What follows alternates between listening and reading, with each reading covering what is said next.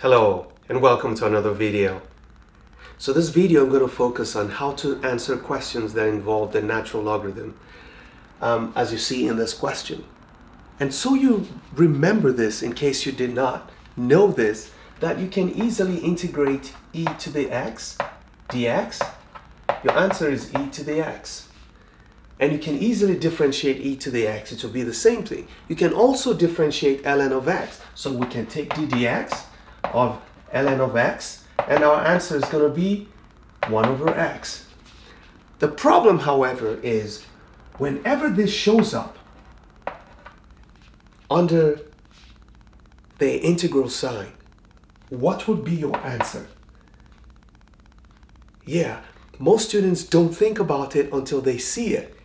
You can't integrate natural log of x because at your level, you don't know the techniques yet. You don't you can't do double integrals because by definition, the natural log of x is the integral from 1 to x of 1 over t dt.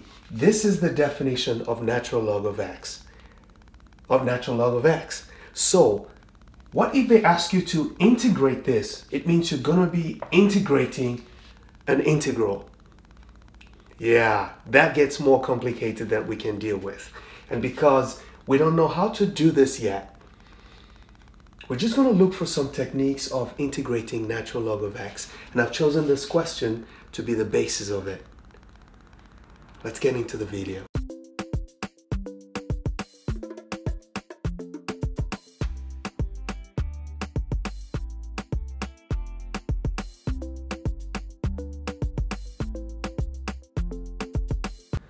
So let's start with the knowledge that the only thing you can do to a natural log function is differentiate it, not integrate it. And, but we're supposed to integrate. So you must remember that there's a technique in, in integration that allows you to differentiate something. And it's called different uh, integration by parts. So integration by parts tells you that when you look at the function, if there are two or more functions, there are two functions, you take one of the functions as something to integrate and one of the functions as something to differentiate. And that gives you the opportunity to take the natural log functions to function to differentiate. But right now we only have one function. So what's the where's the other part? Firstly, let's start with the formula for integration by parts because that is where this is relevant. So we have um,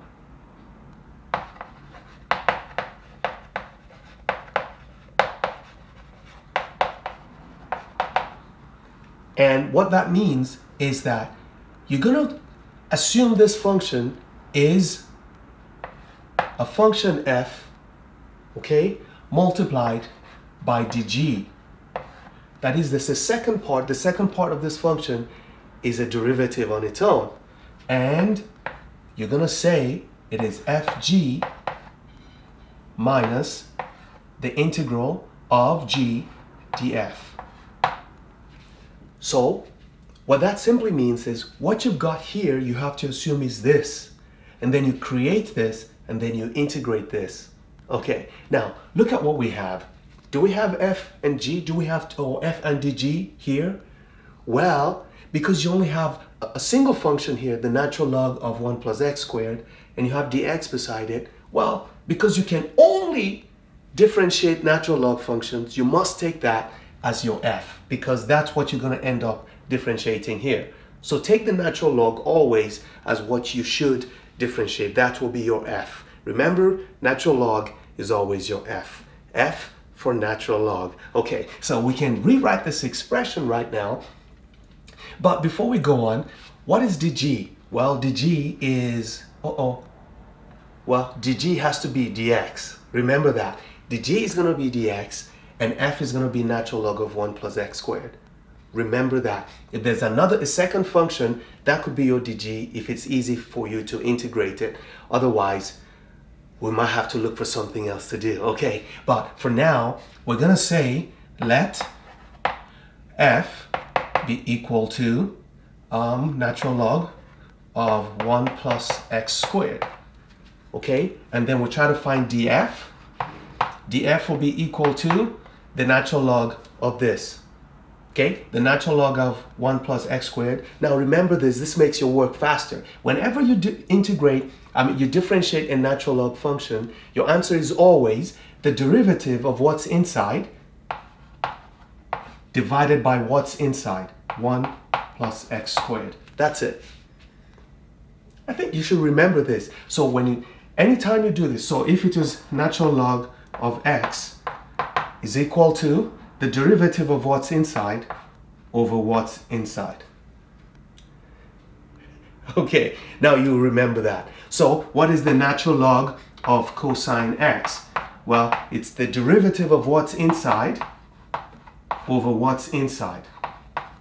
And that's it. So that's negative tangent of x. So you, you just need to master these things, but let's, let's move on. Let's clean that up.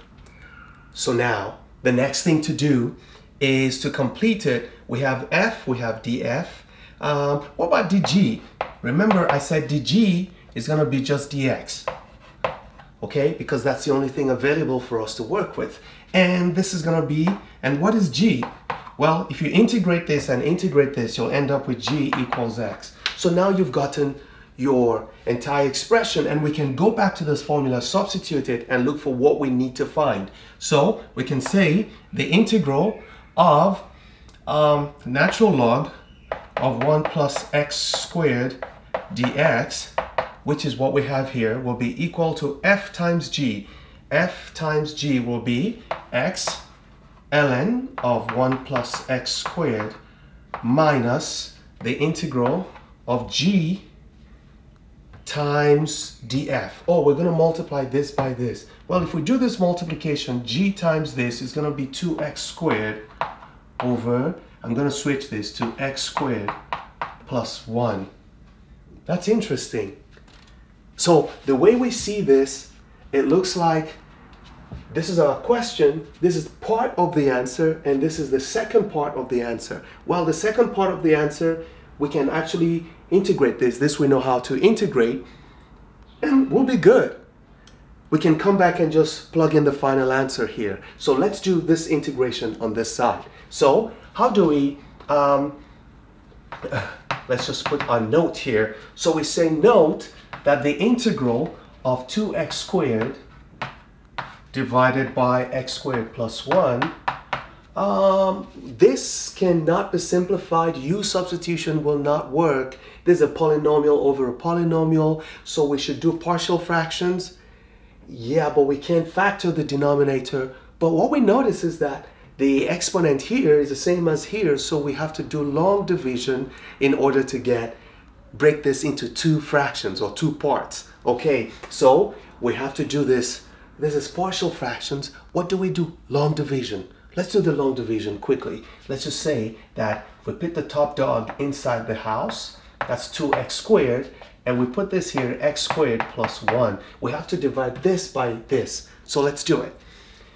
What do I need to multiply this by in order to get 2x squared? It's going to be 2. So I multiply 2 times this, that's 2x squared.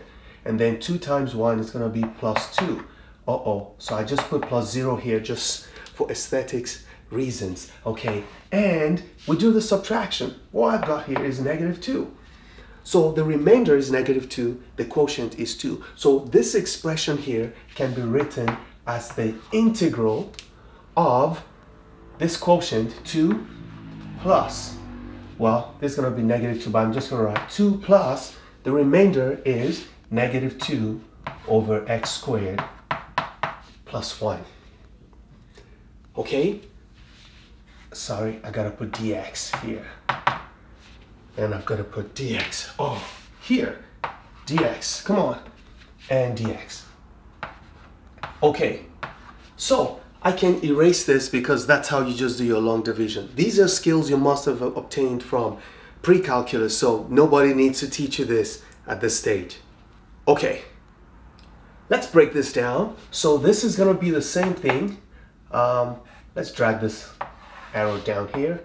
So this is gonna be the same thing as the integral of 2 dx minus the integral. I'm gonna bring out this 2 Okay, or let's just say plus the integral of negative 2 over x squared plus 1 dx. Now let's finish this up. If you integrate 2 dx, you're going to get 2x.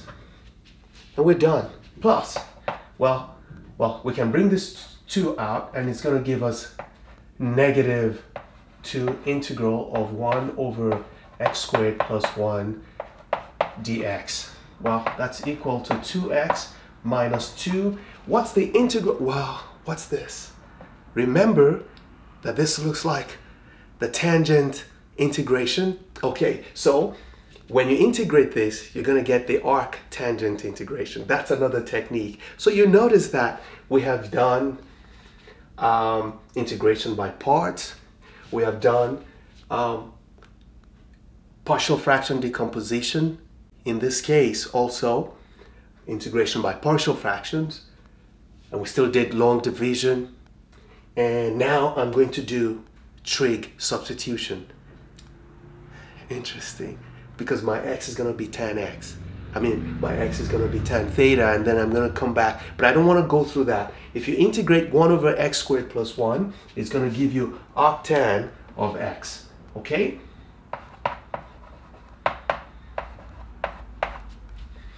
Then we can add plus c to that. So, this is the process. So I'm going to go back here and add this portion that we did not finish to the answer. So our final answer here will be, let me put it here, will be equal to x ln of 1 plus x squared minus this answer. Well, if I subtract this, this is going to become minus 2x, and then this is going to become plus 2 arc tan x plus c. That is the answer to that innocent looking problem. So the purpose of this video was to show you the steps you needed to take to get to this point. So the this portion gave us this and this original portion we just got from the first thing. You'll always get the first part as soon as you do all your choices and your differentiations and integration. I hope you learned something. Please leave a comment under this video. Give it a thumbs up, give it a share, give it a like. And remember, those who stop learning have stopped living. So never stop learning.